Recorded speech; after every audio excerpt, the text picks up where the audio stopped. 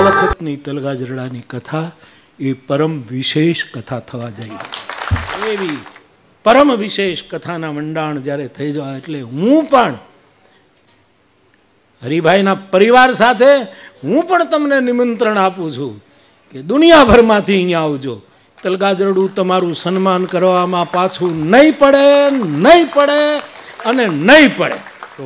આ તલગાજરડામાં આ કથા સોળ વર્ષ પછી આમાં નિમિત્ત માત્ર બનવાનો આપણને સૌને લાવો મળ્યો છે ને તલગાજડા તો બાપુ જેમ કહે ને તલગાજડી આ તલગાજડીની મોટી કથા છે અને બધાને મારા ખૂબ જય સિયારામ હરિઓમ मोहब्बत में दिल आज घबरा रहा है मोहब्बत में दिल आज घबरा रहा है क्योंकि तसब्बुर हकीकत हुआ जा रहा है क्योंकि तसब्बुर हकीकत हुआ जा रहा है यूँ तो कोसों दूर है मदीना यूँ तो કોસો દૂર હે મદીના.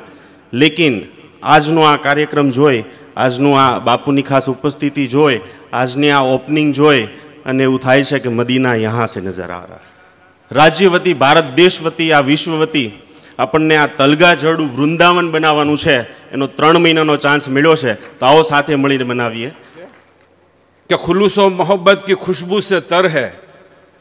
કે ખુલુસો બાપુ બેઠા હોય ત્યારે શેર કેવો એટલે અમે તો ત્રેવીસ પ્રોગ્રામો કર્યા છે કોમી એકતાના પીરઝાદા ચોકમાં યાદ હુસેન કમિટીના પ્રમુખ ત્યારે બાપુ તો શેરના મસીહા બાપુ શેરના એક શોખીન ત્યારે મારે એની હાજરીમાં શેર કહેવો પડે કે ખુલ્લુસો મોહબ્બત કી ખુશબू से तर है चले आइए ये अजीज़ों का घर है कि खुलूसो मोहब्बत की खुशबू से तर है चले आइए ये अजीज़ों का घर है और अलग ही मज़ा है फ़कीरी में अपना अलग ही मज़ा है फ़कीरी में अपना न पाने की चिंता न खोने का डर है આ પ્રેમ યજ્ઞ છે આ પ્રેમ કથા છે આમાં કોઈને કંઈ દેવા લેવું નથી બધાને મજા કરવાની છે અને મોજ કરવાની છે કે મારી તલગાજડાની ઈચ્છા જે બાપુએ વ્યક્ત કરી અને હરિભાઈના રૂવાડે રૂવાડે જીવ આવી ગયો હરિભાઈને એમ થયું કે આ બાપુ ક્યારે ટેજ ઉપરથી નીચે ઉતરે ને હું ક્યારે બાપુની પાસે જાઉં એનાથી સમય નહોતો જાતો અમે સાથે હતા ઘરે બેઠા હતા રામજી દાદાએ એમ કીધું કે ભાઈ તમે ઘરમત કરો. મને એમ લાગ્યું કે આ ઘરમત શું હશે? આ વડીલોની વાત. બધાને એક એક વ્યક્તિની હારે વાત કરી, સંવાદ કર્યો.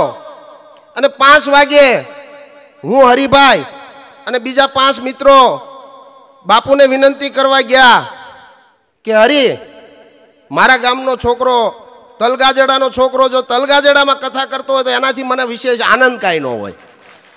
કે આહિર સમાજ નહીં, આ ગુજરાતના, ગુજરાતમાં વસતા દરેકે દરેક સમાજની આ કથા છે, એટલે કોઈ સમાજમાં પડ્યા વિના આપણે બધાએ આ રામકથામાં નવ દિવસ જેનાથી જે થઈ શકે જે કથા સાંભળી કે કથા સાંભળે. કથામાં કોઈને સેવકની ભૂમિકા ભજવવી, સેવકની ભૂમિકા ભજવે, પણ બાપુ રહેવાતું નથી એટલે કહી દઈ આ કથામાં છે ને જલસો પાડી દેવાનો છે બાપુ. પણ આવા હજારો વર્ષ પહેલાં જેના મંડાણ થઈ ગયા હોય એના નિમિત્ત બનવાનું જેને અવસર મળે એનો પરિવાર કેટલો ધન્ય હોય. જન્મ આપનારી માતાને જન્મભૂમિ સ્વર્ગથી પણ વધુ મહાન છે. અને શા માટે? એ કદાચ હું એવું માનું છું કે બાપુની રામકથા દ્વારા આપને બધાને આગામી સમયમાં જાણવા મળશે. બાપુ હું જાણું છું અહીંયા બેઠેલા બધા જ જાણે છે. કે આપ તલકાજરડા પૂરતા સીમિત નથી. આ દેશના શાસ્ત્રોએ આપણને સૌને શીખવું છે કે ધર્મના દરબારમાં રાજે દખલ ન કરવી, પણ રાજના દરબારમાં ધર્મનું આસન રાખવું. રાજ જ્યારે ભાન ભૂલે, રાજ જ્યારે મૂંઝાય, ત્યારે ધર્મનો આદેશ આ દેશની સંસ્કૃતિમાં એ આખરી આદેશ હોય છે.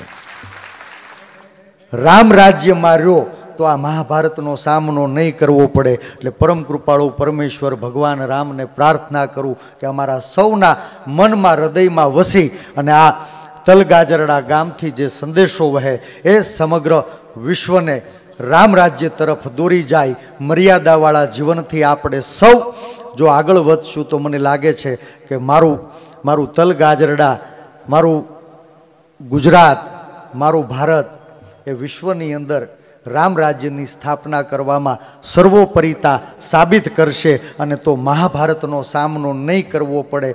પણ કે બાપુએ આઠસો કરતાં પણ વધુ કથાઓ અહીંયા કરી છે.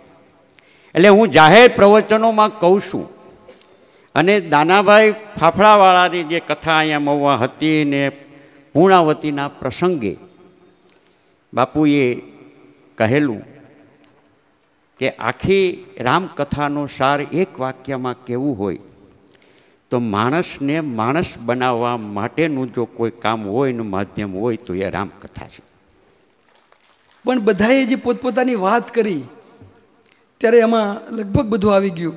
રિપીટ કરવાનું મન થાય તો ખાલી એટલું જ કે રામકથા, તો ગઈ કથામાં ભાઈ પરેશે વાત કરી હતી, અને ભાઈ ડૉક્ટર ઉમેશે તાજી કરી કે રામકથા એનું ઉલટું કરો તો થાક મરા. થાક ગયો. અહીંયા જે થાકનો પણ પ્રગટ કરવામાં આવ્યો કે થાકી જવાય, પણ બાપુ કેમ નહીં થાકતા? આ કથા કરતાં કરતાં, બસ એ જ, કારણ કે એ રામકથા છે.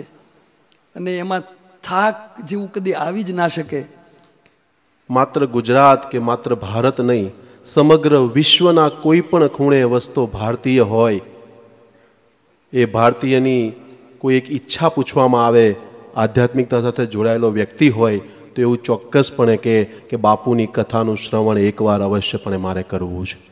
કહેવાય. પોતે કમાય અને પોતાનું ખાય, એને પ્રકૃતિ કહેવાય, પણ પોતે કમાય અને બીજાને ખવડાવે, એને સંસ્કૃતિ કહેવાય.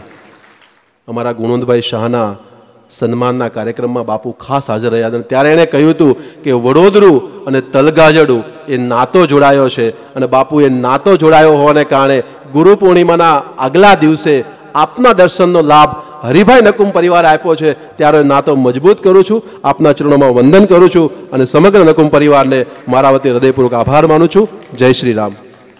ધર્મ માટે છે અને એકઠા થયા હોય એવું મેં પહેલી વાર જોયું છે. બાપુના શરણોમાં વંદન પ્રણામ. અને આ કાર્ય ખૂબ સફળ ખૂબ સારું જાય. અને લોકોને કાંઈ ને કાંઈ આમાંથી પ્રેરણા લઈને જાય પ્રેરણા મળે એવી બાપુના શરણોમાં પ્રણામ વંદન. આભાર બાદશાહભાઈ. બાપુની કથા બાપુની સામાજિક કાર્યક્રમ દ્વારા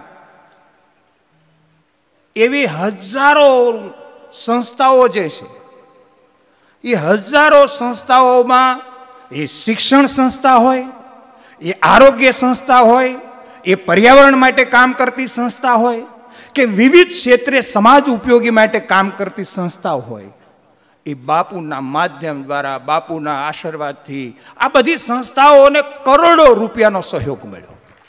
ભગવાને એવી એને કાળજું આપ્યું છે, એવી શક્તિ આપી છે. બાપુ તો પ્રાર્થના કરતા જ હશે, પણ અમે બધા પણ પ્રાર્થના કરીએ છીએ કે આ માણા કાયમ કમાતો રહે, કેમ કે કમાય એને આપતા આવડે છે. એવા માણા પાસે ધન જાય. અને એના ભાગીદાર છે અમારા હરિભાઈ. એટલે હરિભાઈ, અહીંયા તમે મહુવાની વાત કરી અહીં તલ વાત કરી, ભાવનગર જિલ્લાની વાત કરી. ભાઈ, હરિભાઈ, તમારે અરે આખું સુરત છે. આખું સુરત છે.